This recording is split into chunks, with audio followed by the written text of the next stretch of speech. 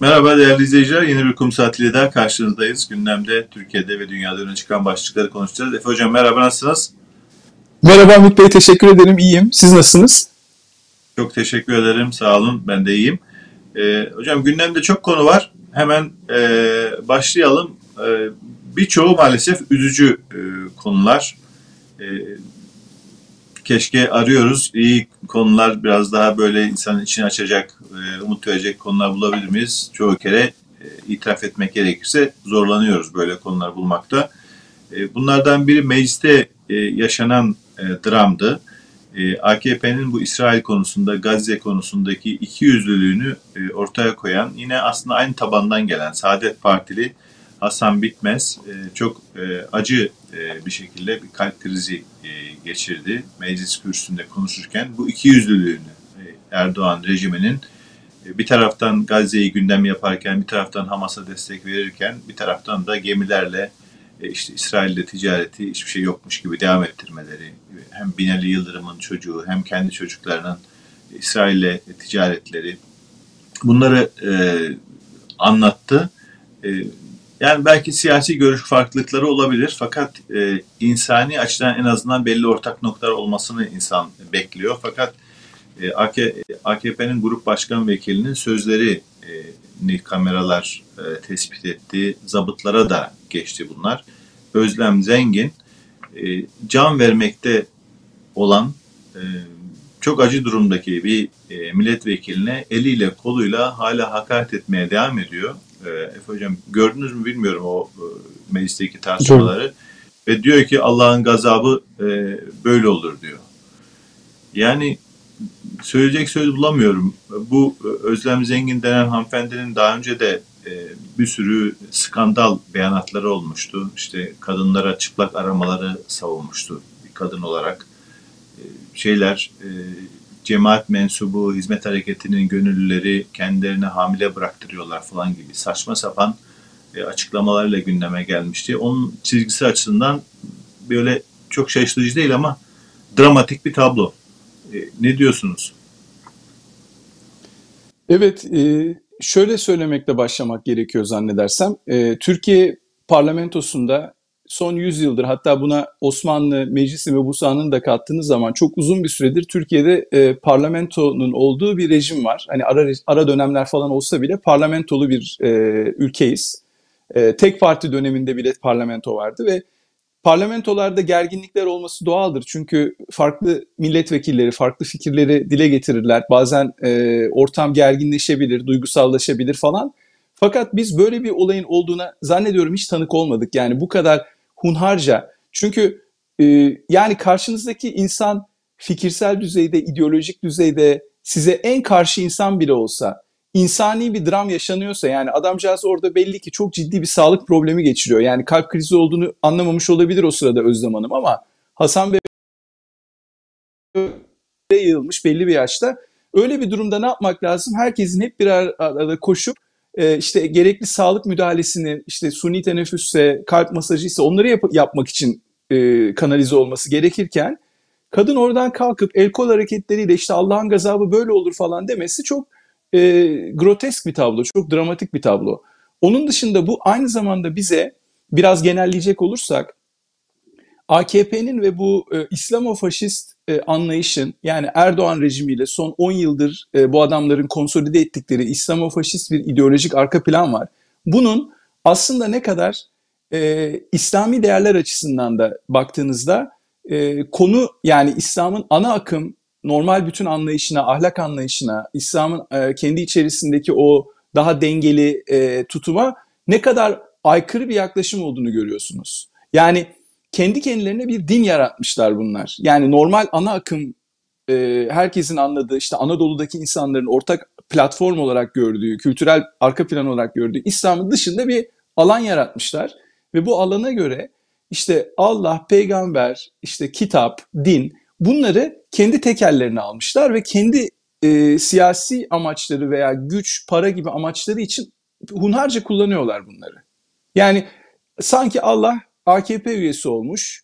E, işte e, meleklerini, e, bütün gücünü, o doğaüstü gücünü, kainatı yarattığı o bütün gücü e, bu Erdoğan'ın e, yaptığı yolsuzluklara, hortumlamalara falan e, erketelik yapmak için sanki e, ayırmış gibi. Yani kendi aslında inandıkları değerlere hakaret etmiyorlar mı? Belki bu konuda siz biraz daha benden bilgili olabilirsiniz. Yani hani e, böyle Allah'ın, kitabın, Kur'an'ın, meleklerin veya işte herhangi bir şekilde dini değerlerin bu tarz ucuz siyasi bir e, tartışma içerisinde kullanılıyor olması Müslüman ahlakı açısından veya Müslüman kendini Müslüman olarak tanımlayan insanlar açısından nasıl bir anlam ifade ediyor? Belki biraz bu, bu konuda da hani siz katkıda bulunursunuz diye düşünüyorum. Yani çok e, acı acı bir tablo. Yani biz hep e, ülkenin e, AKP eliyle, Erdoğan eliyle demokrasiden, hukuktan e, uzaklaşmasını bir dram olarak e, konuşuyoruz, bir trajedi olarak konuşuyoruz. E, fakat bu onunla sınırlı değil hakikaten. insanlıktan da e, uzaklaşan e, bir ideoloji, bir yaklaşım e, ortada. Yani siyasi rekabet e, çok doğal olarak olabilir. İster e, dini gruplar, dini yorumlama konusunda da farklı görüşler olabilir. Fakat e, yani bir e, can çekişen bir insan e, karşısında hala konuşmaya devam etmek, ona saldırmaya devam etmek, işte böyle el kol hareketleriyle. Bir de bir de kendisi sanki e, şeyin e, yani Allah'ın e, avukatıymış gibi. İşte bak Allah Allah'ın gazabı böyle olur gibi laflar. Yani seviyesizlik fakat seviyesizlik sadece bu kesimle sınırlı değil. Bunun benzer örneklerini başka kesimlerde de maalesef görüyoruz. Yani ben benim gördüğüm Efe Hocam Türkiye'de yani bütün kesimleri içine alan çok büyük bir e, gerileme e, söz konusu. Yani insani düzeyde, evet. kalite e, bir e, gerileme söz konusu. Bu sadece dindar kesimle sınırlı değil. Başka bir örnek var. E, onu da belki konuşalım. E, tam bununla e, paralel bir seviyesizliği bence e, bir densizliği e, ortaya koyuyor. Şimdi Diyarbakır'da e, Şeyh Said e, ismi bir e, caddeye verildi ve tabii bu çok büyük tartışmalara yol açtı. O tartışmalara giren kişilerden biri de Fatih Altaylı. Yani Hürriyet gazetesinde yazarlık yapmış, Habertürk televizyonunda, gazetesinde yöneticilik yapmış. Yıllardır işte şimdi YouTube programlarıyla falan gündemde konuşuyor, dinleniyor, ciddi alınıyor. Bu kişinin bir konuşması günlerdir e, dolaşıyor. Orada e, Said'e karşı çıkayım derken e, Hitler'in e, vatan haini olmadığını falan söylüyor. Yani evet. ben anlamakta zorlanıyorum. Nasıl nasıl bir kafa yapısıdır bu? Yani Şeyh Said'e karşı çıkabilirsin. Tarihin o döneminde yaşanan olayları e, farklı şekilde yorumlayabiliriz. E, ama e, o gün işte devlet e, Said'i yargılamış. E, sanki Türkiye'de e, gerçekten bir tek adam, tek parti dönemi yokmuş. Bağımsız bir yargı varmış ve o yargı kararları da gerçekten çok doğru, sağlıklıymış gibi e, yaklaşıyor ve Hitler'i temizlemeye çalışıyor. Ya ne alaka bir kere? Yani şey Said'e karşı çıkacaksan çık. Ama Hitler'in hain olmadığını söylemek, Hitler'in aslında fena birisi olmadığını söylemek ne demek? Bilmiyorum. Bir açıklama bir izah e, bulabildiniz mi? Bu ne saçmalıktır? E, Şimdi Fatih Fatih Altaylı'nın e, bu en son söylediği olaydan başlayalım isterseniz. Şeyh Said'den önce yani Hitler'in e, işte aslında bir vatan haini olmadığı, Alman devletinin e, kısmen de olsa en azından yararına hareket etmiş olabileceği falan gibi yorumları aslında 100 yıllık bizlere Anadolu insanlarına empoze edilen e, o faşizan ideolojinin yan etkileri Nasıl yan etkileri? Çünkü bizi öyle bir eğittiler, bizi öyle bir e, endoktrine ettiler ki biz devleti hep önceliyoruz bakın. Yani Anadolu insanları, Anadolu'dan çıkan insanlar, Fatih Altaylı da tabii ki e, bunun tipik bir örneği. E, Alman devleti diyor, Alman devletine ihanet etmedi. Alman devletini kısmen işte bir şekilde Hitler'in Alman devleti lehine de çalışmış oluyor. Yani bir devlet miti, bir devlet e, fetişizmi yok mu? Yani çok enteresan bir şey bu. Bu bilinçaltının kusulması yani devlete, aslında. Kusmuş bilinçaltını kusmuş. Devlete yani devlete e, bir itiraz yoksa, e, devlete ihanet etmemişse e, insanlığı milyonlarca insanı katletmiş olmasının hiçbir önemi yok. Dünyada milyonlarca insanın ölümüne sebep olmuş olması, o aşmış olduğu savaşlarla, İkinci Dünya Savaşı'yla bunun hiçbir önemi yok. Başka ülkeleri işgal etmiş olmasının hiçbir önemi yok. adam devlete ihanet etmedi. E, evet. Bakın şimdi bunun örneğini şu şekilde e, aslında daha somut hale getirebiliriz. Şimdi Üç Paşalar döneminde işte e, Enver Talat Cemal döneminde e, Osmanlı'nın ne hale geldiğini biliyoruz değil mi? O, o yani korkunç hataların, üst üste yapılan korkunç hataların neticesinde e, elde avuçta olan bütün Osmanlı'nın toprakları kayboldu. E, korkunç bir savaşa girildi. Ama bu bunun da dışında e, hayalleri neydi işte bu e, çetenin diyelim, bu ittihatçı çetenin hayalleri bir Turan İmparatorluğu'na evirmek. E, Osmanlı İmparatorluğu'nu bir işte e, etnik bazda hareket eden, işte Kafkasya cephesini açmasının sebebi bu. Rusya içerilerine dalmaya çalışmasının falan sebepleri bu. Ve bunun yanında Anadolu'nun homojenleştirilmesi projesini gündeme getiriyor.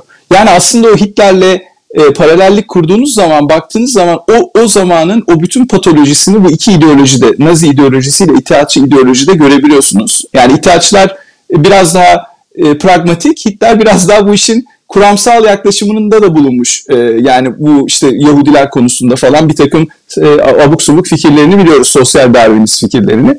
Şuraya bağlamak istiyorum. Şimdi Türkiye'de Enver Paşa, Talat Paşa, Cemal Paşa'nın isimleri caddelere veriliyor zaten biliyorsunuz. Ve bu insanlar bir bir buçuk milyon yani sayıları çok değişiyor ama hani bir buçuk milyon olarak diyelim Anadolu'da varlık e, göstermiş bin yıllık, 1500 yıllık tarihi içerisinde e, asli unsur olan Ermenilerin ortadan kaldırılmasına yönelik politikaların mimarı bu insanlar aslında.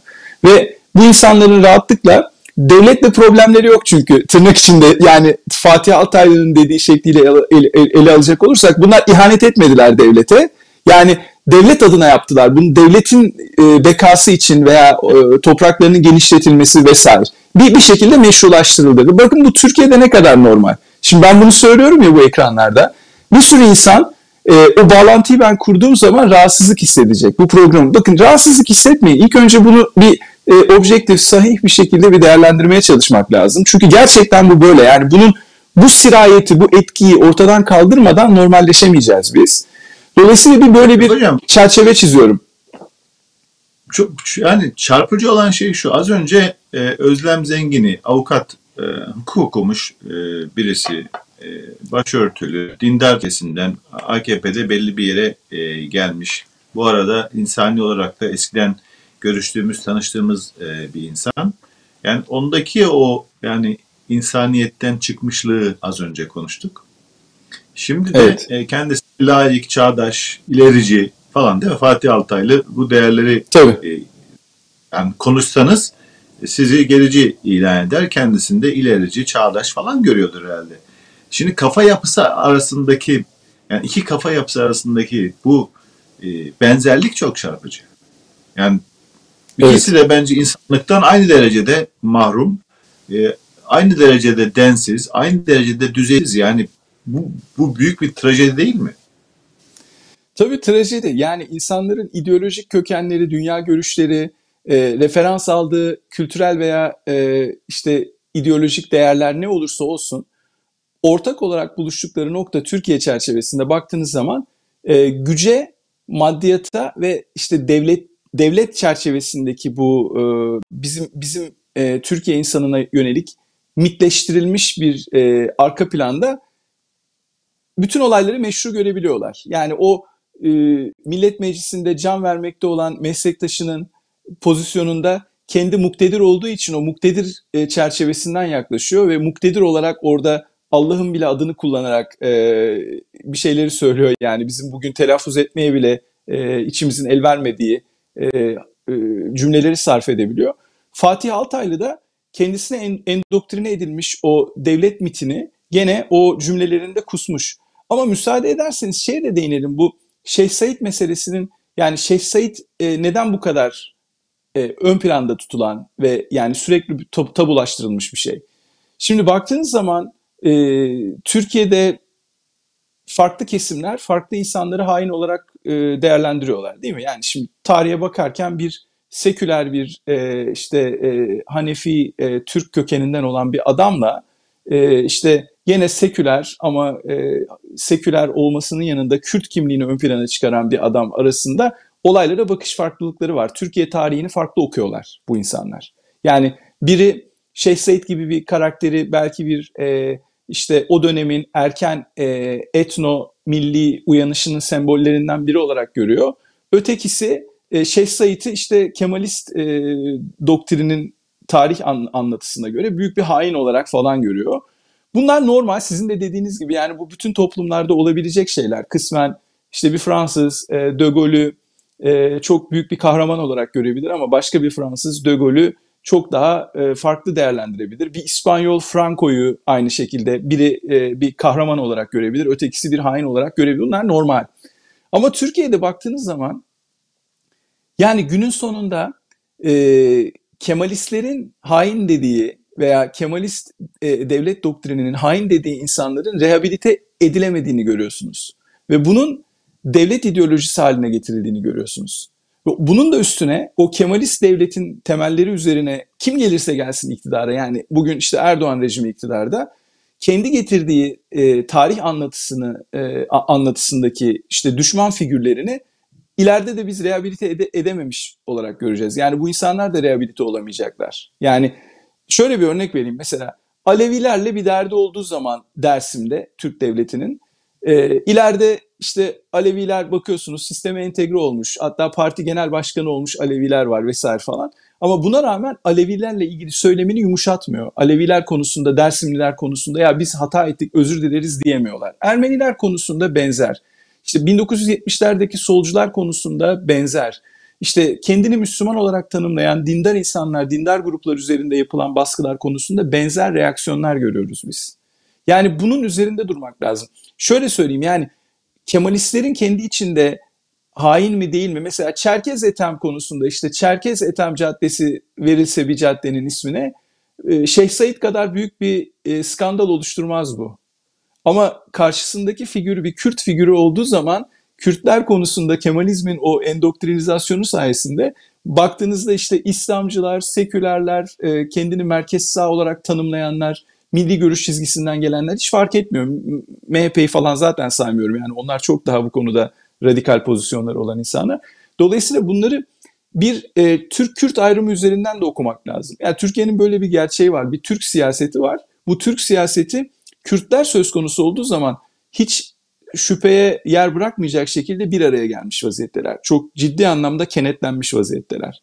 Yani bu Şeyh Said konusundaki duyarlılık, tırnak içindeki duyarlılık veya işte bu paranoik hassasiyet bundan kaynaklanıyor bence. Evet yani yani farklı e, bakış açıları olabilir fakat e, kesin olan şey şu. E, Türkiye e, devleti e, 2023 yılında Avrupa İnsan Hakları Mahkemesi'nin ki yani evrensel hukuk standartlarını temsil eden bir e, yargı organı orası. E, bu arada Avrupa Konseyi'nin de e, kurumlarından biri ki Türkiye Avrupa Konseyi'nin kurucu ülkelerinden biri. Evet. E, Avrupa Birliği'nden farklı e, bir yapı yani. Oranın kararlarını takmayan e, bir e, hukuka 2023'te imza atıyor. Kendi anayasasını takmıyor. Anayasa Mahkemesi üyeleri karar verdiği için onları Yargıtay eliyle suçlamaya hakkında işte suç duyurusunda falan bulunuyor. E, hakimleri kararlarını beğenmediği zaman hapse atıyor. 2023 yılından bahsediyoruz. Efe Hoca. Şimdi tarihteki olaylara bakarken hele e, böyle tek adamın yönettiği 2020'lere 2025 takrir sükun dönemine bakarken o dönemde kim hainmiş, nasıl şartlarda demiş, o yargılamalar nasıl e, ne kadar adaleti, ne kadar doğruyu, ne kadar evrensel e, güzeli, iyiyi temsil ediyor konusunda e, şüpheyle bakmak lazım. Yani 2023'te böyleysek 2020'lerde acaba nasıl neler e, yapmış olabiliriz e, konusunda en azından kafalarda şüphe e, olması lazım diye düşünüyorum. E, şimdi e, Türkiye aslında e, iyi bir yoldaydı. Avrupa Birliği üyeliği konusunda ilerliyordu. Ama biz bu programda e, aylardır, yıllardır ondan ne kadar uzaklaştığını e, konuşuyoruz. E, Birçok örnekler var. İşte 86 yaşındaki bir hayırseverin sedye ile e, hapse götürülmesini e, konuştuk. Bir sürü bilim adamları hapishanelerdeki doktoralı e, insan sayısının, akademisyen sayısının en yüksek e, dünyadaki en yüksek olduğu ülkelerden biri e, haline geldi, getirildi. Fakat e, yani dramatik bir e, tablo var. E, bu haftaki önemli uluslararası gelişmelerden biriydi. Ukrayna e, bu savaş e, şartlarında Avrupa Birliği ile müzakerelere başladı. E, yani ben şeyden bahsetmiyorum. Soğuk Savaş döneminde Türkiye NATO üyesi iken, Türkiye e, Avrupa Konseyi'nin parçası iken, ahim sisteminin parçası iken Doğu bloku içinde yer alan Bulgaristan, Romanya, Estonya, Letonya bu ülkeler artık zaten Türkiye'nin çok çok ötesinde. Yani onlar e, demokratik hukuk e, ülkeleri haline geldiler. E, fakat artık işte başka ülkeler yani hiç alakası olmayan ülkeler bile Türkiye'nin önüne e, geçiyor. Türkiye'de neyle gündemde? Yine onu da e, parantez içinde e, hatırlayalım.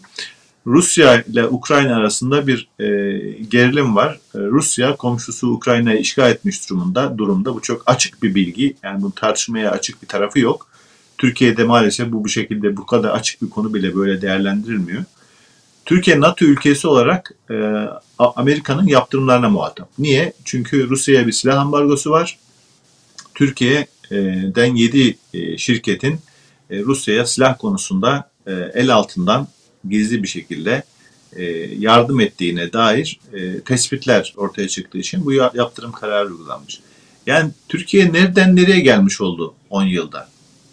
Efe Hocam ve bu Ukrayna kararını Avrupa Birliği'nin üyelik müzakerelerine başlama kararı stratejik olarak nasıl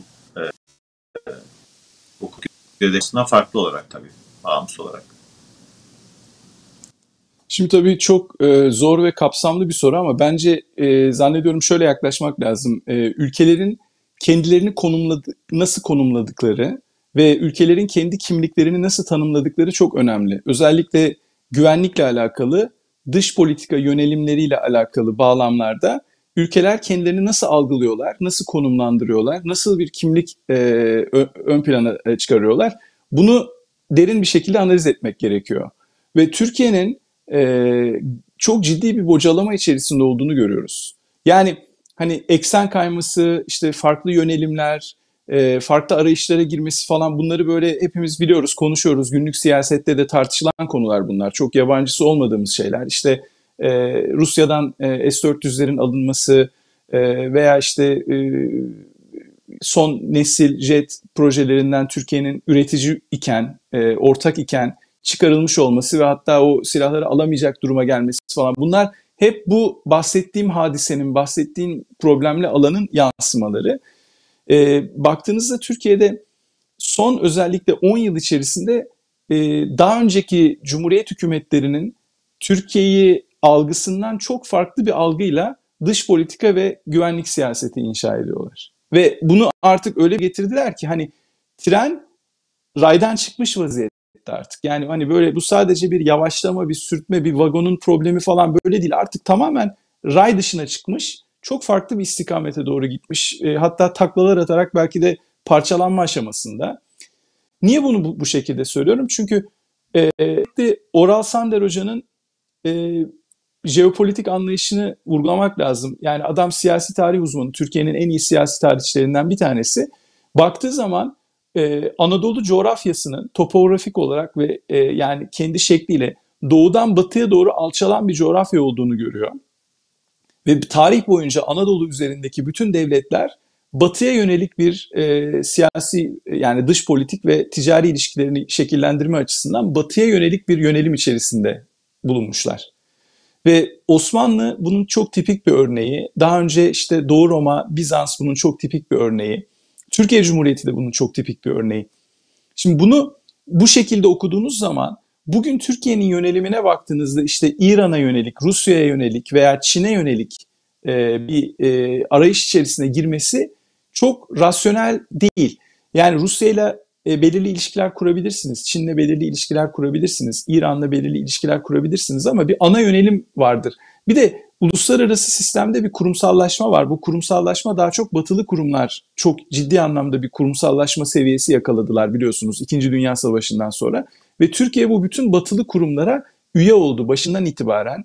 Ee, işte e, biliyorsunuz Truman doktriniyle, Marshall yardımı çerçevesinde, ondan sonrasında NATO üyeliğiyle, ondan sonrasında daha aynı paralel giden Avrupa Konseyi üyeliği, OECD'deki rolü, e, bütün bunları göz önüne aldığınız zaman e, Avrupa Birliği ile tam üyelik ilişkisi içerisine girmek istemesi kadar normal bir şey yok. Fakat bugün bakıyorsunuz Moldova gibi, e, Ukrayna gibi e, Türkiye'den çok daha gerilerden başlamış olan yani bu demokratikleşme ve Avrupalılaşma mücadelesine çok daha gerilerden başlamış olan toplumların Türkiye'nin çok daha önüne geçtiğini görüyorsunuz.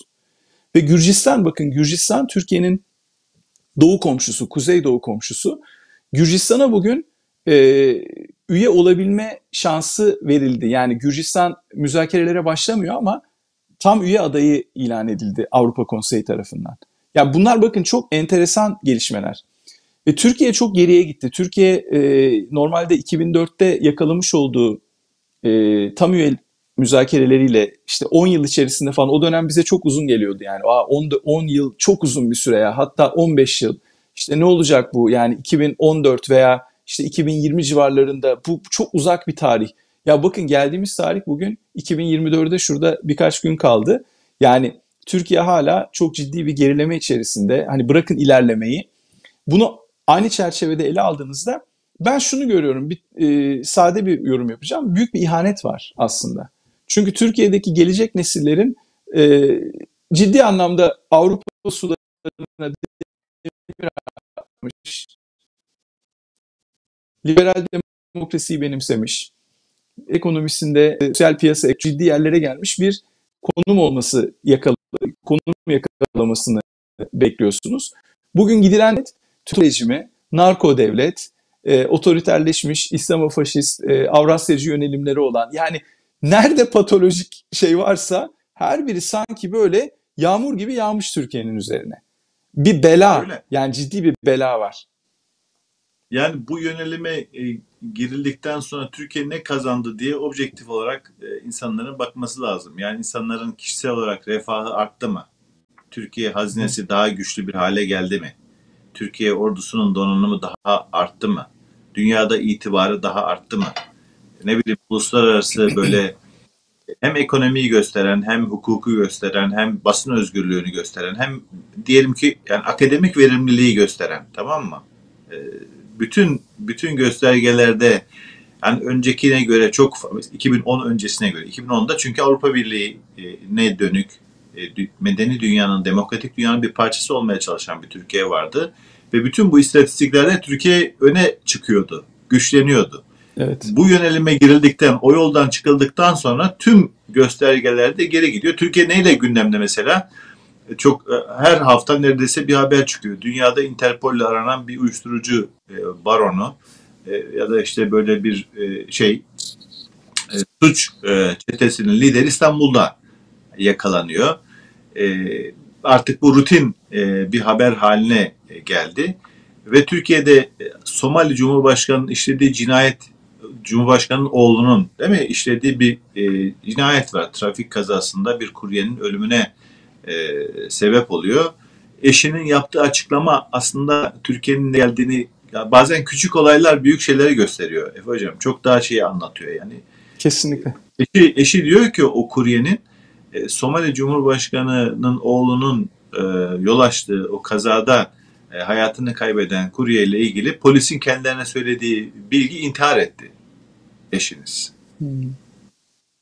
Ve ülkede ülkeyi terk edip gitmesine göz yummuşlar. Görüyorsunuz yani bir Afrika yani aşağılamak için, küçük görmek için söylemiyorum ama bir hukuk devletinde yani normal Avrupa Birliği yönelimi olan bir ülkede böyle bir şey olabilir mi? Niye elini kolunu sallayan Avrupa'nın, dünyanın tüm hırsızları, uyuşturucu e, baronları İstanbul'da İstanbul'da mekan tutmuş. Bir şekilde İstanbul'da hayatlarını sürdürüyorlar. Yani kokain, e, uyuşturucu e, ticaretinde Türkiye çok e, önemli bir ülke haline gelmiş. Yani başka konularda değil. Bilimsel üret, üretkenlikte vesaire değil. Yani aslında e, yani hangi tabloya bakarsanız e, bakın bu girilen yönelimin Türkiye'ye bir şey kazandırmadığı ortada. İşte enflasyon rakamlarına da baksanız e, öyle. Yoksulluk sınırına baksanız da öyle her tarafıyla dökülen paçoz e, bir e, bir yapı e, ortada. Fakat bunu bilemiyorum yani nasıl gizlenebiliyor? bu kadar ortada aleni olan hukuksuzluğun Türkiye'yi getirmiş olduğu, bu diktatörlüğün, tek adamlık yönetimin Türkiye'ye getirmiş olduğu tablo nasıl görülmüyor ve muhalefet tarafından nasıl doğru düzgün anlatılamıyor e, buna aklım ermiyor açıkçası. Şimdi ben şöyle düşünüyorum. Biz hep e, denklemi şu şekilde kuruyoruz. Diyoruz ki fakirlik, fukaralık arttıkça, insanların hayat standartları dibe doğru çakılmaya başladıkça bu insanlar bu e, yönetimin ne kadar kötü olduğunun farkına varacaklar ve bu rejimden uzaklaşacaklar. Daha düzgün, e, işte kendilerine daha iyi gelecek vadeden siyasi alternatiflere yönelecekler. Yani böyle bir denklem kuruyoruz biz normal şartlarda. Fakat dünya tarihine baktığınız zaman hep böyle yani işte 2 artı 2 4'tür şeklinde gitmiyor. E, halklar kararlarını verirken mesela şimdi şunu düşünün. Almanların e, iki savaş arası dönemde yani 1920'lerden 1930'lara doğru uzanan Almanya'yı ele aldığınız zaman yani dökülen enflasyonu korkunç seviyelerde, e, ekonomisi çökmüş, fakr zaruret içinde olan bir Almanya görüyorsunuz. Bu Almanya'dan ne bekliyorsunuz? Normalde diyorsunuz ki ya bunların toparlanması için mutlaka istikrarlı bir siyasi yönelime kavuşmaları lazım. Almanlar da mantıklı adamlardır. İstikrarlı politikalara yönelirler. Ona uygun partileri seçerler. Fakat ne oluyor? Hitler gibi bir adam böyle maceracı, e, sosyal darwinizmin getirdiği ırkçılıkla e, beynini yıka, yıkamış bütün e, partililerin, faşist. Böyle bir adamı iktidara getiriyorlar ve e, birkaç sene içerisinde e, Almanya ciddi anlamda askeri zaferler kazandırıyor bu adam. Ve insanlar diyorlar ki ya ne kadar iyi bir şey yapmışız biz bu adamı iktidara getirerek falan ama sonrasındaki yıkımı hepimiz gayet iyi biliyoruz. Ben şunu şundan korkuyorum. Türkiye'nin şu anki durumu belki de daha e, iyi günleri. Eğer bu şekilde devam ederse Türkiye halk e, daha fazla kumar oynayabilir. Yani halklar hep şöyle bakar. En kısa zamanda bundan nasıl e, buradan nasıl çıkabiliriz? Kendine en popülist, en irrasyonel, en belki faşizan fikirleri ortaya atan siyasi alternatiflere yönelir. Şimdi Erdoğan böyle bir lider. Popülist, e, Türkiye'ye Türkiye, Türkiye insanına çok farklı bir gelecek sunacağını iddia ediyor. Diyor ki işte bütün dünya bizim karşımızda bizi engellemeye çalışıyorlar. Fakat biz buna rağmen dik duruyoruz e, ve çok iyi ge- gelecekte çok güzel günler göreceğiz. Böyle bir e, anlatısı, böyle bir diskuru var ve insanların çok büyük bir bölümü de bu diskuru satın alıyorlar. Asıl büyük tehlike bu. Ve diğer taraftan da e, Ve siyasi o tarih partiler... Gelmiyor. O tarih gelmeyecek hiçbir zaman. Ama bunun bir önemi yok. Zaten onu hep öteleyecekler. Yani işte diyecekler ki e, 2023'te bu gelecek diyorlardı. Şimdi 2071'e ötelediler. Yani 2071'e evet. kadar Erdoğan'ın yaşaması biyolojik anlamda bugünkü e, tıbbi seviyede mümkün değil hiçbir insan için. E, belki bizler için bile e, çok çok zor böyle bir tarihi yakalamak. E, mümkün değil. Yani ben 2000 71'de 100 yaşında olmam lazım. Yani 100 yaşına gelemeyeceğiz büyük bir ihtimalle. Yani o, o yüzden şunu şunu düşünüyorum ben. Ee, asıl büyük tehlike muhalefet içerisinden bu rejime alternatif olabilecek bir yapının ortaya çıkmamış olması. Yani böyle bir büyük bir e, açmazla karşı karşıyayız. Bunu nasıl aşacağız? Hep bu programlarda konuşuyoruz. Onu tabii bilemiyoruz. Öyle si- sihirli bir formülümüz yok e, maalesef henüz. Aslında çok normal yani çok kolay olması lazım bu. Çünkü yani başarı olarak ortaya konabilecek yani Türkiye'nin bu işte e, demokrasi yöneliminden, hukuk devleti yöneliminden çıkıp da faşizan bir yaklaşma girdiği andan itibaren elde ettiği olumlu bir e, netice yok. Yani ekonomiden sağlığa, ne bileyim eğitimden e, bilime. İşte Boğaziçi Üniversitesi Türkiye'nin en kıymetli 3-5 e, üniversitesinden biriydi bu e, rejim orayı sıfırlamaya çalışıyor. Sıfırladığı birçok başka kurum gibi, devlet kurumları gibi. E, şeyde şimdi akademisyenler e, Boğaziçi'nin ölümüyle ilgili e, yazılar yazıyorlar. Daha dramatiği, e, Efe Hocam, e, Harvard'da e, tarih e, alanında kıymetli bir bilim adamı olan Cemal Kafadar, e, Türkiye'de yapılan bir konferansta bu e, akademik özgürlüklerin ele alındığı bir konferansta çok çarpıcı bir e, bilgiyi e, e paylaştı. Diyor ki işte 2024'te e, Trump'ın tekrar başa gelme ihtimali var, tekrar seçilme ihtimali var. Hakkındaki bütün e, yargılamalara rağmen, bütün e, iddialara rağmen e, gelirse de e, bir çalışma yapıyormuş diyor Cemal Kafadar Harvard profesörlerinden e, Cemal Kafadar Hoca. Trump e, neyi çalışıyor? Bu akademiye akademiyle nasıl baş edilebilir? Üniversiteler için ne yapılabilir? Medya ile ilgili ne yapılabilir diye 2-3 tane insanı e, çalışıyormuş. Neler yaptılar diye. Onlardan biri de Erdoğan. Buraya Hindistan'dan Modi e, ve Macaristan'ın başındaki Orban e, da bunlar arasında yer alıyor. Yani e, Türkiye bir şeyden kopuyor. Yani demokratik e, yönelimden, demokratik dünyadan kopuyor ve e, böyle e, diktatörlere, e, faşizan, popülist liderlere de bir tür örnek haline geliyor sanki. Tabii şimdi yani e, Türkiye hiçbir zaman bütün tarihi içerisinde baktığınızda hiçbir zaman tam anlamıyla liberal demokratik insan haklarına saygılı e, anayasal bir hukuk devleti olmadı. Yani böyle bir e, yüreklere su serpen bir cümleyle başlayayım. Neden yüreklere su serpen? Hani Amerika açısından Türkiye'ye benzemek korkunç, dünya açısından da çok korkunç e, sonuçları olabilecek bir şey. Yani bugün baktığınız zaman Amerika her şeye rağmen, bütün sıkıntılarına, sorunlarına rağmen kurumsal bir demokrasi. Hani ben Trump'ın yaptığı tartışma, e, çalışmalar vesaire, hani akademiyi nasıl bertaraf ederiz, hukuk devletini e, nasıl e, işte yok edebiliriz gibi bu, bu tip çalışmalar yapıyorsa da bunların çok başarılı olabileceğini düşünmüyorum. Hani bu e, parantezi açmış olayım e, ön, ön planda. Ama diğer taraftan Türkiye'nin bu ligde olması bizim bizler açısından yani Türkiye'deki bu rejimin sillesini yemiş olan e, ve bu rejime muhalif kimliğini gizlememiş olan e, ve sürgünde olan birçok insan açısından çok olumsuz bir şey tabii. Ve Türkiye'de yaşayan gençler açısından, çocuklar açısından çok kötü bir şey. E, Türkiye çok farklı bir ligdeydi bu ligin belki en üst sıralarında değildi ama baktığınız zaman bugün hani Ukrayna'yı, Moldova'yı falan konuştuk, Gürcistan'ı. Yani bunların çok çok yani mukayese kabul etmeyecek şekilde bunların çok daha üstünde olan ekonomik açıdan ve demokratik gelişmişlik endeksleri açısından çok daha iyi bir yerlerdeydi Türkiye. Yani 2004'e kendimizi ışınladığımızda 2005'e falan çok farklı bir atmosfer buluyoruz. Çok e, liberal, demokratik bir atmosferde buluyoruz kendimizi. Buradan nasıl geldik bu noktalara? Ve bugün işte Trump gibi popülist liderler Türkiye'yi e, ne bileyim işte o bahsettiğiniz örneklerle aynı çerçevede, aynı ligde artık e, görüyor. Bu tabii üzerinde düşünülmesi gereken bir şey. Fakat onu konuştuk ya hani e, Boğaziçi Üniversitesi'nden bahsettik. Belki o konuya e, özel olarak da gireceğiz veya belki de girmiş olalım hani bu, bu sayede belki Tabii. daha organik bir geçiş yapmış oluruz. Şimdi Boğaziçi Üniversitesi gibi değerli kurumların bypass edilmiş olması e, ve bunların da sıradanlaştırılması, o sizin de kullandığınız terimle pa- paçoz Türkiye içerisinde paçoz kurumlar haline getirilmesi e, çok üzün, üzüntü verici bir şey tabii ki. Yani bu olmamalı. Ama diğer taraftan Boğaziçi Üniversitesi'nin hep böyle bir güzide, istisnai bir üniversite olarak e, savunuluyor olması son 10 yıl içerisinde. Ama diğer üniversitelerin başına gelen faciaların, Boğaziçi Üniversitesi'ndeki hocalar da dahil olmak üzere bu fil dişi kulelerdeki bir takım insanlar tarafından hiç gündeme getirilmemiş olması da e, ayrıca Boğaziçi'nin bu sonunu hazırlamadı mı? Yani e, şimdi şöyledir bu, bu işler.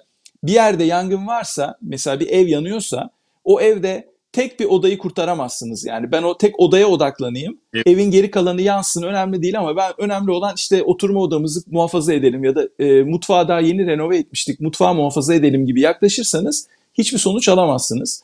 Türkiye'de Boğaziçi'ni kurtaralım. Boğaziçi Üniversitesi çok iyi bir üniversite çünkü mantığıyla yaklaşıldığında geri kalan üniversitelerde 8 binden fazla akademisyen hukuksuz kanun kanun hükmünde kararnamelerle kapı dışı edildiğinde, hain ilan edildiğinde, terörist ilan edildiğinde o Boğaziçi Üniversitesi'nde fil dişi kulelerde yaşayan hocalar ya bu akademiye çok büyük bir darbe, biz buna ilkesel anlamda karşı çıkmalıyız. Ayrıca pragmatik gerekçelerle, rasyonel gerekçelerle de karşı çıkmalıyız. Çünkü yarın Boğaziçi'ne de buna benzer bir hamle yapabilirler diye düşünmeleri gerekirdi. Bunu yaptılar mı? Yapmadılar. Ve bu üniversiteler arasında böyleyken partiler arasında da böyle, kurumlar arasında da böyle, e, Türkiye'deki farklı kutuplaşmış kesimler arasında da böyle. Herkes kendi mahallesine. Yani yangında tek odayı kurtaralım biz. Evin tek bir odasını kurtaralım. Böyle bir yaklaşım içerisindeler. Hatta Yangını biz kontrol edelim. O tek odayı kurtaralım. Yangını da kontrol edelim. Kontrollü bir biçimde bizim istemediğimiz odaları yok etsin bu yangın gibi yaklaşıyorlar. Hani bu analojiyi devam ettirecek olursak. Dolayısıyla ben bunun çok sağlıksız, ve irrasyonel bir yaklaşım olduğunu düşünüyorum. Türkiye'nin bundan sıyrılmadan da bu rejimden kurtulması çok mümkün gözükmüyor. Yani e, Boğaziçi'ndeki e, akademisyenlerin e, bu baskıya e, e protesto eden 3 yıldır devam ediyor. 1100 yılı 1100 günü geçmiş durumda. Biliyorsunuz akademisyenler, e, Boğaziçi hocaların bir kısmı e, her hafta e, rektörlük binasına arkalarına dönüyorlar ve vazgeçmiyorlar, yılmıyorlar. Fakat bir taraftan da tabii ki rejim mesafe alıyor. Yani hiç alakası olmayan Boğaziçi'nde tarihinde olmamış şeyler yapılıyor. Kulüplere dönük müthiş baskılar var falan. Fakat yani e, dediğiniz şu açıdan doğru. Yani Boğaziçi Üniversitesi'nin diyelim ki özelliği konusunda, rektör seçimi konusunda, e, o işte e, kayyımların atanması konularında geri adım atılsa Türkiye'de akademik özgürlükler geri gelmiş olacak mı? Hayır. Yani onlarca üniversiteden sadece biri e, Boğaziçi Üniversitesi ve e, dikkat çeken şöyle bir şey var. Yani eski Türkiye'de e, bazen e, üniversiteler e, böyle faşist uygulamaları, darbelere falan destek veren açıklamalar yaptıkları da olmuştur. Ama üniversiteler bir ses çıkardı. Yani yaşanan olaylarla ilgili, siyasi olaylarla ilgili, ekonomik gelişmelerle ilgili. Yani Boğaziçi dışında bir ses duymuyoruz. Efe Hocam yani bir açıklama, yani geçenlerde mesela Anayasa Mahkemesi üyelerine dönük bir şey oldu. Değil mi? Bir evet. girişim oldu. Yani Yargıtay üyeleri suç e, duyurusunda bulundu. Ve Avrupa İnsan Hakları Mahkemesi'nin kararları var. E, Türkiye'de yargı takmıyor. Yani bu konularla ilgili onlarca hukuk fakültesi var. Bir tanesinden bir açıklama gelmiyor. Eskiden senatoların açıklamaları orada hatırlarsınız. Bizim böyle tabii, tabii. üniversite yıllarında, gençlik yıllarımızda falan. Böyle şeyler yok. Yani şeyler lise gibi e, olmuş durumda artık. E, üniversiteler. Evet. Bu açıdan anlamlı görüyorum. Yani Boğaziçi'nin e, tamam e, bütün akademik özgürlükleri savunmak yerine e, kendi e, özel alanlarını korumaya çalışıyorlar.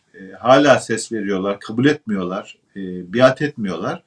Bu, bu açıdan önemli gibi yani başka da ses yok yani.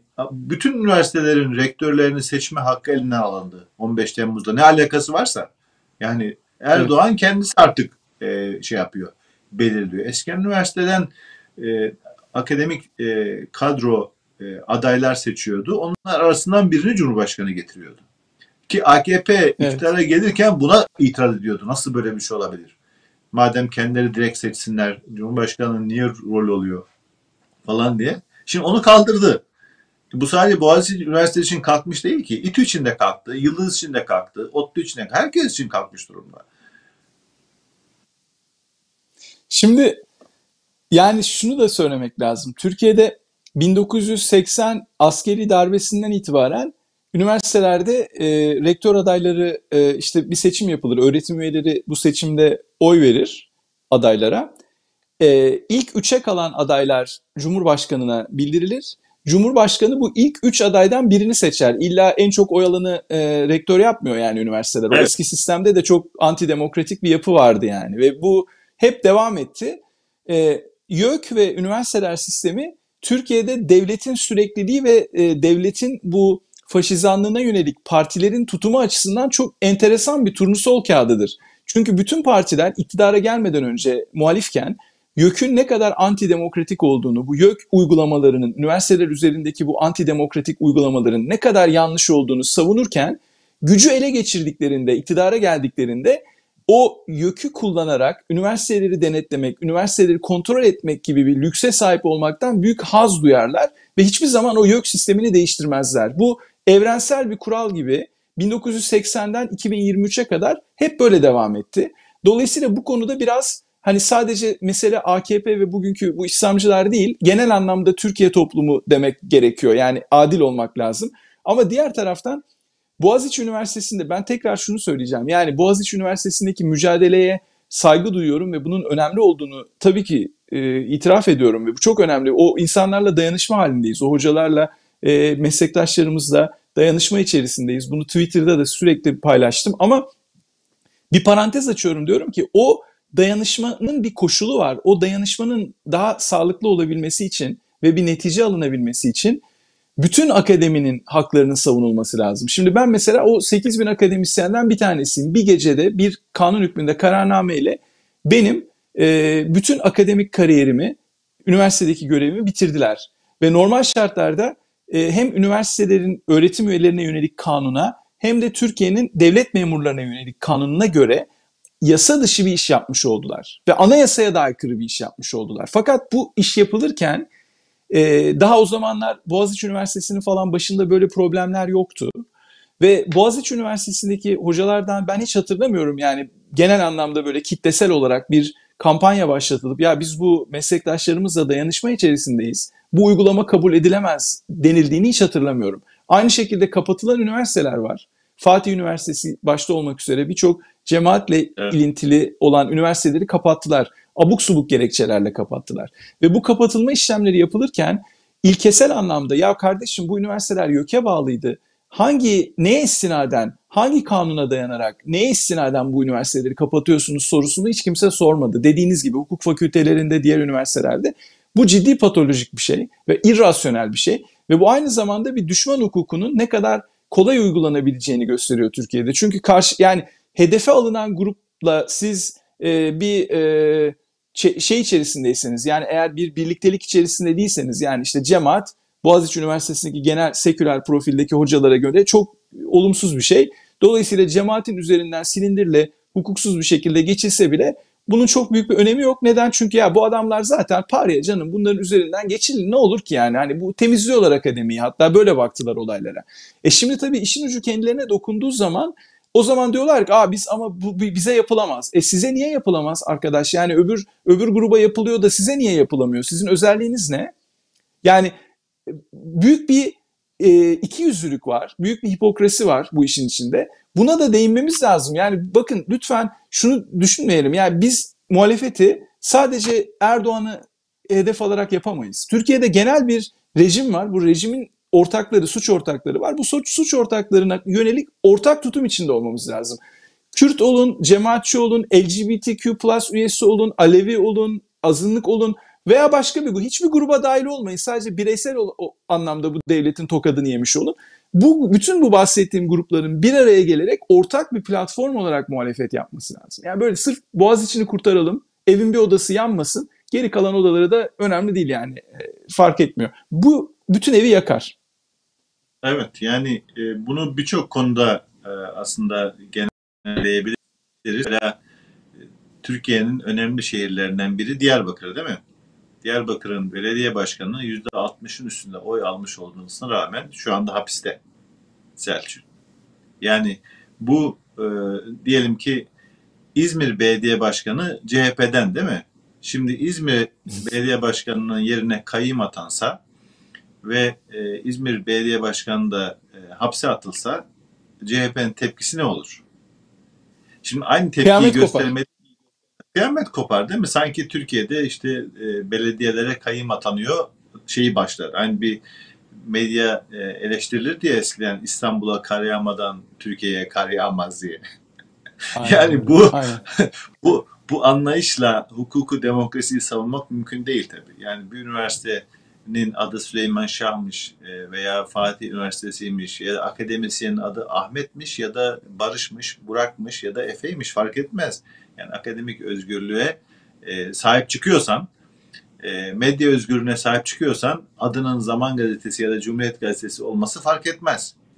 Aynen ya da öyle. bir yani yargı bağımsızlığına tarafsan sen, şimdi mesela sadece bir hüküm verdiği için 17-25 e, polislerinin hırsızları yakalayan polislerin bu arada tahliyesi yönünde hüküm verdiği için hapiste tutulan Mustafa Başar var. Şimdi Türkiye'deki ilerici, milliyetçi, çağdaş, Atatürkçü hukukçular bu manzara karşısında yani sadece vermiş olduğu bir karar nedeniyle hapiste tutulan Mustafa Başar için kılını kıpırdatmıyorsa yani orada hukuk falan savunulamaz. Ve herkes maalesef sırasını bekler.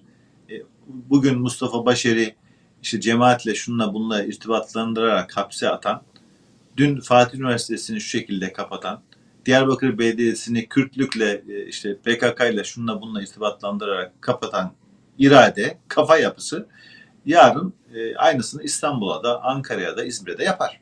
Başka üniversiteler de yapar. Boğaziçi'ne de yapar, Bilkent'e yapar. Yani maalesef bu kafasızlığımız diyelim bunu artık. Yani bu bilinçsizliğimiz e, Türkiye'nin niye e, yani bir Estonya artık bak, bakabilir misiniz? Bunu söylüyoruz yani. Niye Letvonya olamıyor? Niye Litvanya olamıyor? Niye e, Polonya olamıyor? E, niye Bulgaristan olamıyor? Niye Yunanistan olamıyor? Sorusunu soruyorsak herhalde e, cevabı bu her kesimi ilgilendiren, her kesimin e, içinde bulunan bu açmazla e, çok yakından alakalıdır diye düşünüyorum. Yani e, maalesef sonuç ne? Sonuçta işte e, hakim e, hapiste, akademisyenler, gazeteciler e, hapiste ya da sokakta ya da sürgünde. E, ülke e, iyi bir yere mi geldi? Hayır. E, sonucu e, en en iyi sonuçlarından biri bence ekonomi. Çünkü tartışmasız rakamlar konuşuyor. Çok ideolojik değil yani. E, TÜİK'e göre orada bile e, anormallik var. E, şu anda TÜİK'e göre Türkiye'de Türkiye İstatistik Enstitüsü'ne göre yani kurumuna göre yüzde 61 e, dünyada böyle bir enflasyon dünyada rekor e, düzeyde yani ve ENAK diye e, daha sivil daha e, doğruları yansıtan bir enflasyon araştırma e, grubu var. Ona göre yüzde 126 Efe Hocam. Yani şu tablo iki yönüyle bence e, başka bir şey konuşmadan e, Türkiye'deki e, dramı e, anlatıyor. Bir, bu kadar enflasyonun yüksek olması. Yani şu anda mesela Amerika'da enflasyon yüzde 3.1 falan. Yüzde 60 kabul edelim. Yani e, resmi enflasyon oranını kabul edelim. Kaç kat oluyor Hocam? 20 30 katı, katı mı? 20 katı değil mi? 20 katı evet. bakın. Ve birincisi bu yani. Aynı dünyada e, aynı ekonomi yani dünyadaki e, Türkiye'de bu arada e, G20 üyesi yani küçük böyle hafife alınacak bir e, ekonomi değil. Ama nasıl yönetildiğini gösteren çok çarpıcı bir e, rakam bu. Ve bir de aynı ülke aynı e, ülkenin enflasyon rakamları arasındaki farka bakar mısınız? Yani şu resmi kurumla diğeri arasındaki fark iki katından fazla. Bu her şeyi anlatmıyor resmi, mu? Şimdi resmi kurumda biraz hani e, insanları da güldürmek lazım. Şimdi resmi kurumda şöyle oluyor bu. TÜİK nasıl yapıyor biliyor musunuz? TÜİK'in işte bir genel müdürü var. O genel müdürü çağırıyor. Rıfkı gel bakayım buraya diyor. Rıfkı geliyor oraya. Rıfkı bak diyor bu e, örneklemleri diyor seçerken çünkü örneklem yapması yani tek tek böyle ürünleri seçmesi lazım ki belirli bir sepet oluşturacak. O sepetin ortalamasını alacak enflasyon. Bak diyor sepeti oluştururken yüzde diyor 50'nin üzerinde ürün almayacaksın diyor. Ya diyor efendim nasıl olur? Bütün ürünler diyor yüzde işte yüzde beş, e, işte yüzde iki yüz, yüzde yüz elli, yüzde yüz yirmi beş artmış. Seç diyor. Bakıyor şimdi o gidiyor diyor ki ya diyor bu ay çimentoda çok büyük bir artış olmamış. Çimentoyu biz bu buraya dahil edelim. Altında olmamış, elmasta olmamış, Ferrari arabada evet. olmamış.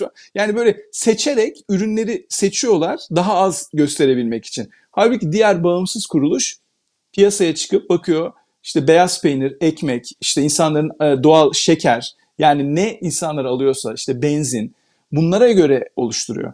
Yani devletin burada yaklaşımı tamamen bir otoriter rejim gibi hatta bir totaliter rejim gibi hareket ediyor. Ya böyle bir şey hiç hatırlamıyoruz biz. Bakın Özal döneminde siz şey hatırlıyor musunuz?